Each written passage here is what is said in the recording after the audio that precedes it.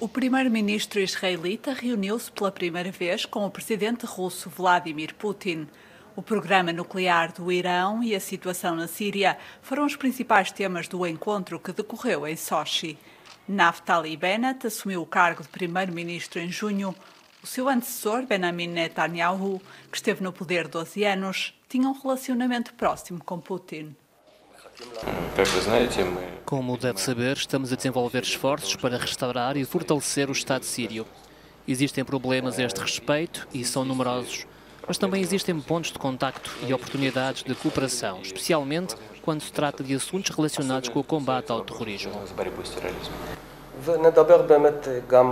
Vamos certamente discutir a situação na Síria e os esforços em curso para travar o programa nuclear iraniano. Bennett afirmou que Israel vê Vladimir Putin como um verdadeiro amigo do povo judeu e enfatizou o papel crucial da URSS na vitória contra a Alemanha nazi.